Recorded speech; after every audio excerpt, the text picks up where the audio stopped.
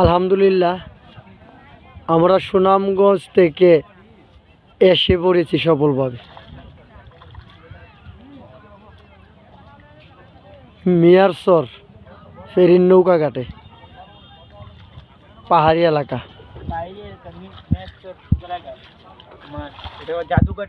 জাদুকাটা নদী না? জাদুকাটা নদী। দেখতে অনেকটা জাদুর মতোই, অনেক ধরনের নৌকা।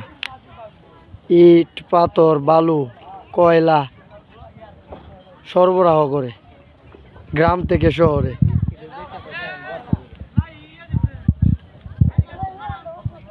বাংলা বিস্কুট খোলা মার্কেট।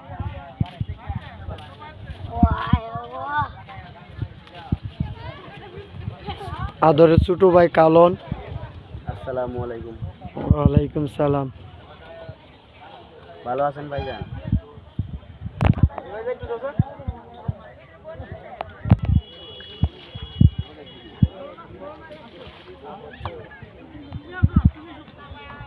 মামু জাদুকাটা নদী না? মা। মুরব্বীরা কি তা গপ্প করে? বিয়ার বাজারের গপ্প। আমরা কত টাকা শাড়ি কিনবো। একটা শাড়ি আঠারো হাজার দিয়ে কিনবেন না? ওয়া আলহামদুলিল্লাহ মাশাল্লাহ আমরা কত মুন্না? হ্যাঁ পঁয়ত্রিশ হাজার টাকার শাড়ি। ইনশাল্লাহ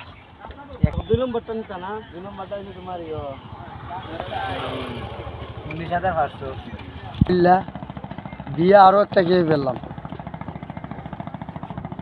যাওয়ার পথে ধন্যবাদ।